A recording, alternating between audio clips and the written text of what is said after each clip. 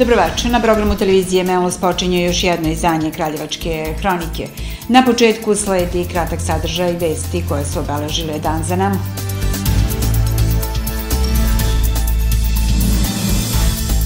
Pedeset najboljih studenta danas potpisalo ugovor sa gradom o stipendiranju. Na današnji dan pre 42 godine umro Josif Broz Tito. U Narodnoj biblioteci Stefan Prvovenčani predstavljena monografija o manastiru Svetog Luke u Bošljanima kod Varvarina.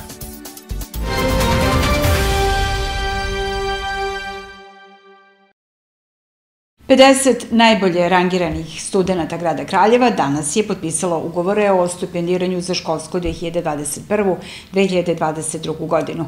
Ugovore je studentima uručio gradonačelnik Kraljeva dr. Predrag Terzić. Najbolji studenti čiji je prosek ocene od 8,95 do 10, njih 50, u narednih 10 meseci će iz budžeta grada dobijeti stipendije u mesečnom iznosu od po 10.000 dinara, bez obaveze vraćanja.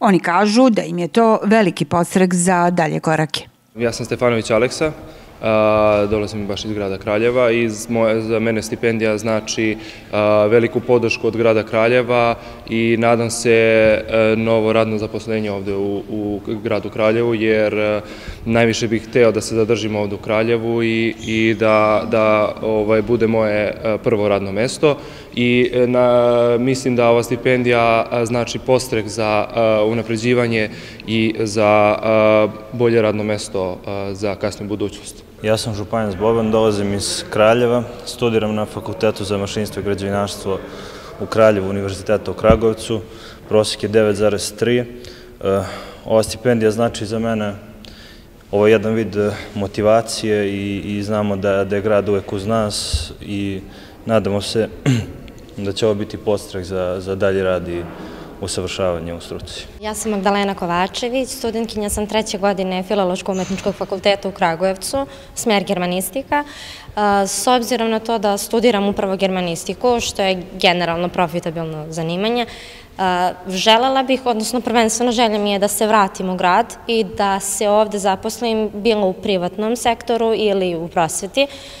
To mi je bila velika želja od od kako sam bila mala, tako da sama stipendija, odnosno gradska stipendija je podrška ne samo meni, već svim mladim studentima koji imaju želju da nastave svoje studiranje, tako reći njihov prosek, odnosno ono koliko postignu, je za Kraljevo veliki značaj kao i za njih same koji su, jel te, građani ovog grada, tako da mislim da je ovo jedna velika podrška mladima.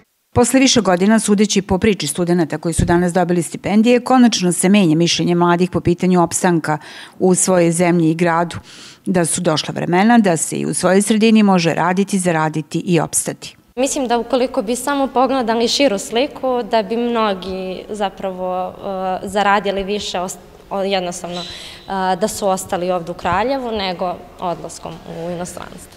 Takva činjenica veliki je plus za lokalnu samoupravu. Vi ste svedoci da su decenijama unazad studenti iz Kraljeva ostajali u onim mestima gde su završavali fakultete, a da je deo njih odlazio i karijeru nastavljao u inostranstvu. Ja sam srećan što danas kraljevački studenti žele da ostanu u svom gradu, da ovde žive, da ovde pronalaze posao, ali i da ovde osnivaju svoje porodice. To je odlična vez za sve kraljevčane. Najboljih 50 koji su danas dobili stipendije grada su studenti prvog i drugog nivoa studija na fakultetima u Beogradu, Kraljevu, Kragujevcu i Novom Sadu. Virusolog Veterinarskog specijalističkog instituta u Kraljevu, dr. Milanko Šekler, je rekao da korona nije odzvonila za sve, već samo za one koji su se vakcinisali. Komentarisao je i poraz broja zaraženih u Kini i navode pojedinih medija da je reč o novom talasu COVID-19. Kako je rekao, to nije nikakav nagli poraz broja zaraženih, već Kina ima izuzetno rigidnu strategiju za suzbijanje virusa. Na pitanje kako bi mogla da izgleda budućnost kada je pandemija u pitanju, odgovorio je da koroni je odzvonilo, ali ne kada je reč u celoj zemlji, već samo kada se radi o vakcinisanim građanima. A u opštoj bolnici Studenica od COVID-19 leči se pet pacijenata. Na intenzivnoj i poluintenzivnoj nezi nema bolesnika tokom protekla 24 časa, nije bilo prijema ni otpusta, jedan pacijent je preminuo. U dnevnoj bolnici je zbrinut jedan pacijent, a u COVID ambulanti obavljen je jedan pregled. Nasilje u porodici predstavlja veliki problem savremenog društva, a sve je učestalije. Nasilnici su sve brutalniji, a posljedice po žrtve su sve drastičnije. Žrtve porodičnog nasilja se boje da prijave nasilnika, pa to može dovesti do nasilja koje može trajati i godinama. Nasilje u porodici postaje hronični problem u našem društvu. Skoro da ne prođe jedan dan, a da u medijima ne osvane vest o još jednom slučaju nasilja u porodici. Ono je bez obzira na stroge zakonske mere i dalje dosta prisutno. Prema rečima profesora doktora Ivana Joksića, ključ problema nasilja je u tome što nismo bogato društvo kao pojedine evropske zemlje da ekonomski osnažimo žrtvu nasilja. Najnoviji slučajevi nasilja podrazumevaju da učinilac liši života članove svoje porodice i na kraju i sebe liši života. Dakle, u pitanju je jedan novi oblik ispoljavanja nasilja u porodici.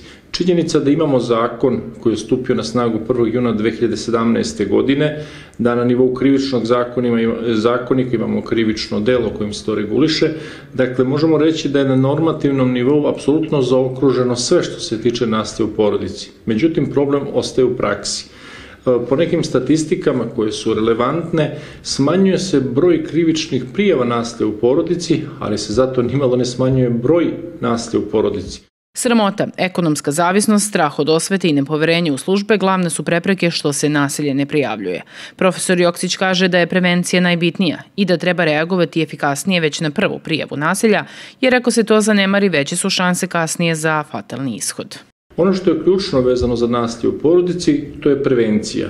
U svakom slučaju prevencija podrazumeva proaktivni način delovanja organa koji su nadležni za E, suzbijanje nasilja u porodici. Čini se da u ovom delu prevencija nije uspela, odnosno da veliki broj nasilnika koji se, čije se nasilje fatalno okončava nije, nisu primarni učinioci, odnosno oni su već vršili nasilje u porodici ili su na neki drugi način, da li su konzumirali alkohol ili narkotike, već e, preduzimali mere i aktivnosti koje su, kojima su činili određena krivična dela. Dakle, smatram da u tom delu mora se prevenirati ponašanje takvih ljudi, jer sasvim sigurno je da nasilje se u prvoj fazi nikad ne okončava fatalnim ishodom.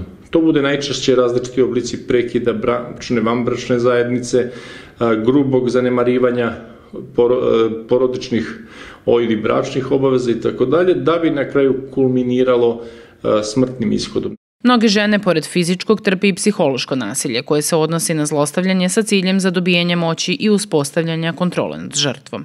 Da li su ipak strožije kazne za nasilnike možda rešenje ovog gorućeg problema? Mi smo zadnjih godina pooštrili kaznenu, krivične sankcije kod nas u smislu uvođenja i kazne doživotnog zatvora za najteža dela. S druge strane, naš krivični zakonik spada u red strožijih krivičnih zakonika, dakle nije problem u, nor, u normiranju strožih sankcija, već u njihovoj primjeni. Jer s jedne strane imate strog krivični zakonik, s druge strane kaznena politika naših sudova je vrlo blaga. Odnosno, ja ću vam dati samo jedan podatak, još uvek kod nas dominira uslovna osuda kao najče, najčešće izricana krivična sankcija, koja u svojoj suštini e, ne sadrži nikakve oblike ograničenja kao što su kazne i tako dalje. Nasilje u porodici predstavlja veliki problem savremenog društva. Sve učestaliji, a nasilnici sve brutalniji. A nažalost, posledice po žrtve su sve drastičnije. Niko ne treba da zažmuri pred ovim problemom. Ni pojedinac, a ni društvo. Jako je važno prepoznati nasilje i nasilnike prijaviti, ali i podržati žene, žrtve u toj borbi.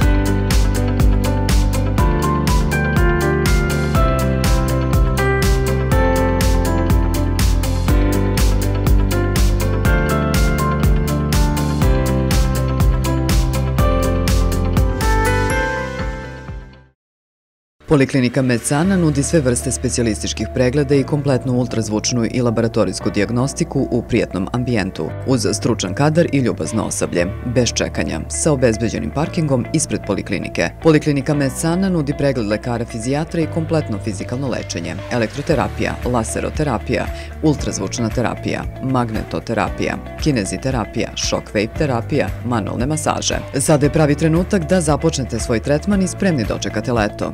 Broj 1 u borbi protiv celulita, Shockwave aparat, smanjuje stvaranje celulita, pospešuje stvaranje kolagena, poboljšava elastičnost kože, tonus mišića i cirkulaciju. Poliklinika Medsana.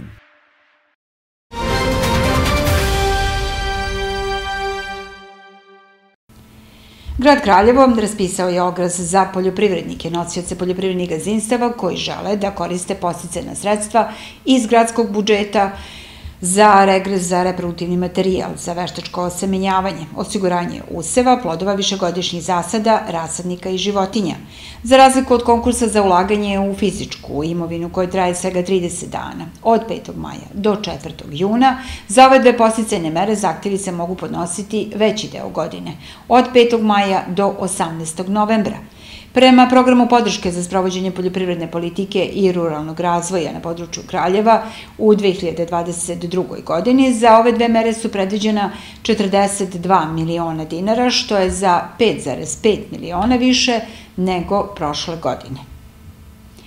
Kulturni centar Ribnica iz Kraljeva organizovaće 16. maja audiciju za mlade soliste na harmonici koji će steći pravo da učestvuju na takmičenju mladih harmonikaša u okviru festivala Zlatne harmonike Kraljeva.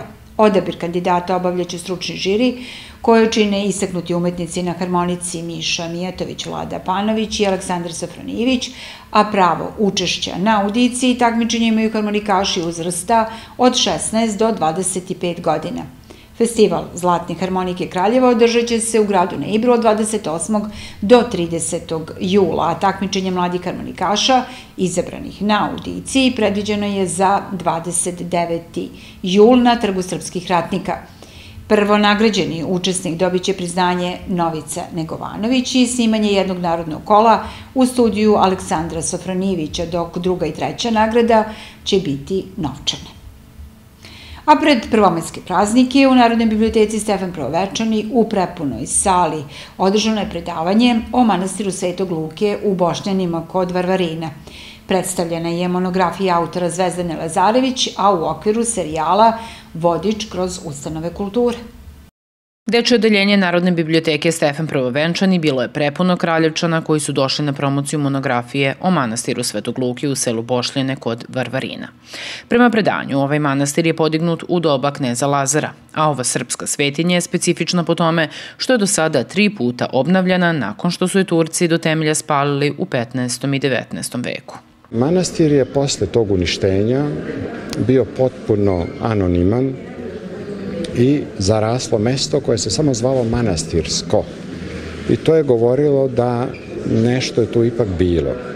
190 godina tu nije postojalo ništa, a narod je odlazio na izvor starog manastira, sekao kolač na mladence i na Svetog Luku, a da nisu znali upravo šta to znači.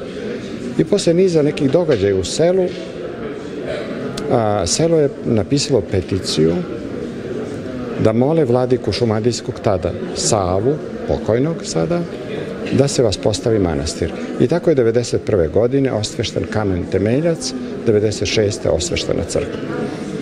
No, obnova je nekako zaostala do započet je manastir i nekako opet je zapusteo do 2002. godine. E onda je došlo novo bratstvo, Intenzivna obnova je počela 2003. godine i do danas, eto to je skoro 20 godina, manastir je prerastao u jednu lavru. Posebno su ponosni na svoju izdavačku delatnost, na manastirsku izdavačku kuću Duhovne staze, koja je izdala i monografiju kustosa Zvezdane Lazarević, koja govori o izgradnji i duhovnom i materijalnom procvatu svetinje iz doba kneza Lazara. To je jedan manastirski kompleks koji obuhvata veliku crkvu Svetog Luke, manju crkvu svih svetih i ovaj, dva paraklisa, da kažem, skit Svete Bogorodice i e, paraklis posvećen svetom knezu Lazaru i svetom caru Nikolaju Ruskom. Uz to u manastirskom kompleksu su dve kule, ovaj, jedna starija iz 2003. godine i jedna iz 2006. godine u kojoj se nalazi baš taj paraklis svetog kneza Lazara i svetog cara Nikolaja Ruskog. Sveštenstvo manastira kao i svi vernici čekaju još jedno proročanstvo da se ispuni, a to je dolazak carskog zvona iz Rusije.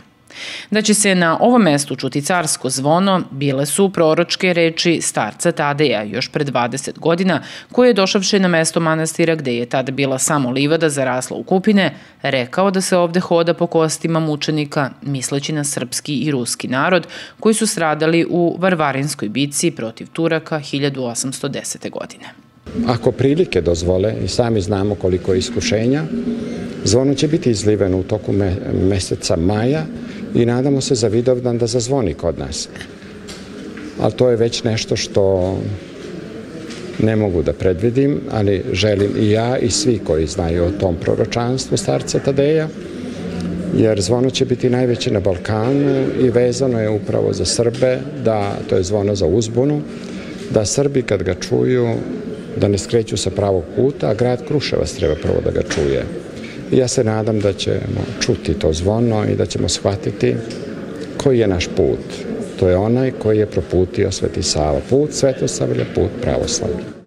Iako ova svetinja već ima 12 zvona, ovo iz ruske prestonice biće po svemu posebno ikone Pećke krsnice i Hrista Spasitelja u priprati crkve Svetog Luke, oslikana u Pećkoj patrijarši, ikona Bogorodice Trojeručice dopremljena uz blagoslov iz Hilandara, čestice moštiju i delovi odežda svetih, samo su neki od dragulja manastira u kojem mnogi traže i pronalaze utehu. Kulturni centar Ribnica u četvrtak 5. maja organizuje susret sa spisateljicom Lanom Batašić, jednom od novih zvezda na regionalnoj književnoj sceni. Njen prvi roman, Uhvati zeca, je osvojio Evropsku nagradu za književnost 2020. godine. Bio je užem izboru za Ninovu nagradu i preveden je na 18 jezik. Književno veče počinje sutra u četvrtak od 19 časova u svečanoj sali gradske uprave. A na današnji dan, pre tačno 42 godine, umro je tadašnji predsednik SFRJ Josip Broz Tito. Stari sugrađani kažu, rado se sećaju tih lepih vremena, a mlađi da ih prošlost ne zanima. 4. maja 1980. godine u Ljubljani umro je Josip Broz Tito, višedecenijski lider socijalističke Jugoslavije, prosledni ratni komandant i osnivač pokreta nesvrstanih. Na čelu Jugoslavije nalazio se punih 35 godina. Osim borbe protiv okupatora, jedinice pod njegovom komadom sprovale su i komunističku revoluciju tokom i nakon rata, tokom koje su između ostalog, u sprovođenju revolucionarne pravde, nestale i desetine hiljada nekomunista pod vidom borbe protiv saradnika okupatora. Sahrani Josipa Broza Tita u Beogradu prisustvoje je više od 200 visokih ličnosti iz celog sveta, što je nesumnjivo pokazatelj njegove sasvim posebne istorijske uloge i izuzetnog ugleda koji je uživao. Danas, posle 42 godine, stariji sugrađani još uvek govore nostalgično o tim vremenima, kada je Tito bio na čelu države, a mlađe prošlost ne interesuje. Lepo nam je bilo. Samo tako. Da, lepo nam je bilo. Samo čas. Svi smo bili isti. Nije bilo uopšte toliko bogatih i toliko siromašnih kao sad ništa više nema. Inače, ja jedino, mislim, stvarno, ja ga obožavam. Jer, mislim, bilo je tako. Tako smo i bili svi jednaki Malo smo u školi. više slušali. Kako? Malo smo više slušali, nije malo toko demokratije, ali u suštini dobre. Meni je bilo lepo, ali ja sam bila mlada. Tito je bio dobar, neizmjeren, dobar, dobar i za nas stariji je bio dobar. U svakom slučaju bolja, bolja vremena su bila nego danas.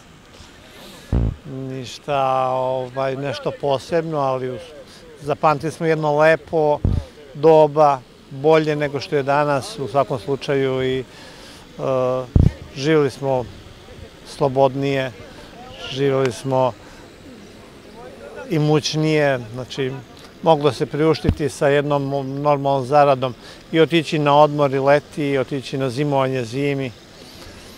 Mislim, u svom, u svom slučaju je bilo mnogo bolje nego danas. Ja sam rođen za vreme Tita i to sam najlepše i nikada lepše neće biti nego za vreme Tita, zapamtite. Ovo rasturanje, ovaj sad život, za mene nikakav, izvinite, ja to sam... A zašto mislite tako? Zato što je bilo lepo. Školovao se moj tata sa dva hektara, hektara zemlje, školom mene, brata i sestru. Svi smo dobijali poslove čim završimo školu, nije bilo nikakvog problema. Pa kućeš lepše. Ne znam da li vi to pamtite, ja pamtim to tako i mene je ostalo u srcu. Svaka čast i sad nije loše vreme, sve je okej, ali ono neće nikada biti više. Jel znaš ko je Tito? Znam. Po priči roditelja, bake, deke, kako, kako ti opisuju te vremena i kako je tvoje mišljenje o tim vremenima? Pa iskreno nemam neko mišljenja i nisi se nešto naslušao baš o tome. Ne interesuje te to doba? Pa nisam toliko zainteresuo. A zašto? Pa prošlo, prošlo se ne živi. Sportski savez Kraljeva raspisao je konkurs za izbor predsednika jer aktualnom čelniku ovog saveza, Milošu Simoviću, u maju ističe četvorogodišnji mandat. Zainteresovani bi trebalo da se jave sa svom potrebnom dokumentacijom u prostorije Sportskog saveza na adresi ulica 4. Kraljevački bataljon BB, Atletski stadion, radnim danima od 9 do 15 časova. Konkurs je otvoren do 19. maja. U nastavku kronike slede servisne informacije.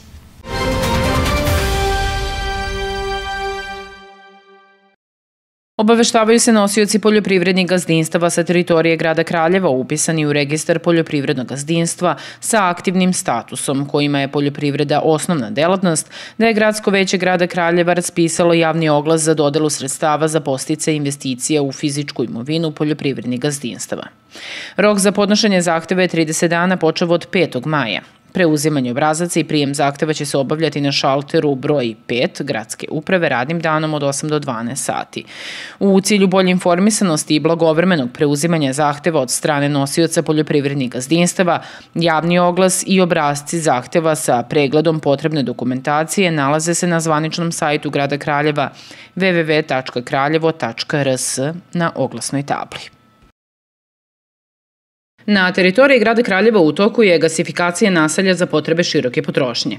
Pozivaju se svi zainteresovani građani domaćinstva sa teritorije Kraljeva na čijem području se trenutno izvode radovi na izgradnji gasovodne mreže koji žele da se priključe u toku njene izgradnje, da se prijeve na telefon 066 803 4245.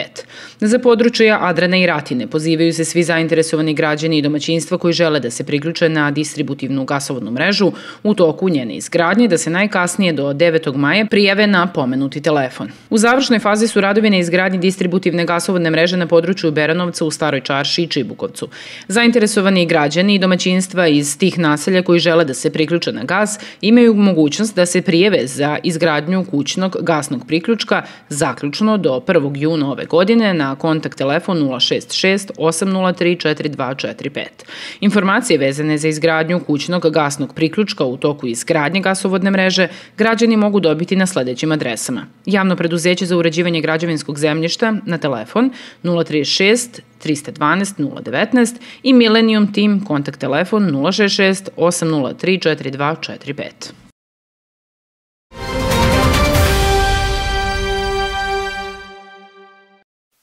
Naredna dva dana biće gotovo letnje. Povišen vazdušni pritisak obezbedit će vedro nebo nad Srbijom. Ipak, zbog ciklona iz oblasti Rusije, u Banatu i na istoku Srbije može biti i popodnevnih pljuskova. Prema podacima Hidrometeorološkog zavoda, 5. maja u većem delu zemlje biće pretežno sunčano i toplije, a sredinom dana i posle podne uz lokalni razvoj oblačnosti u brdsko-planinskim predelima kratkotrajna kiša je moguća ili pljusak sa grmljavinom. Duvaće vetar slab promenljivog pravca. Minimalna temperatura 5, maksimalna čak 26. Slično vreme zadržat će se do vikenda kada se očekuje promenljivo i nestabilno vreme sa češćom pojavom kiše. I posle vremenske prognoze još jednom, ukratko 4. maj.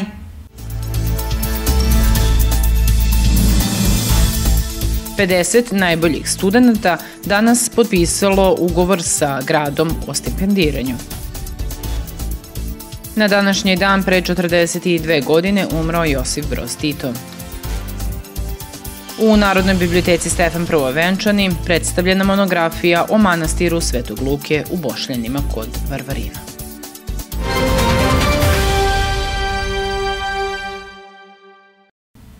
Stigli smo do kraja ovog izdanja Kraljevačke hronike. Hvala vam na pažnji i ukazanom poverenju. Prijetno večer.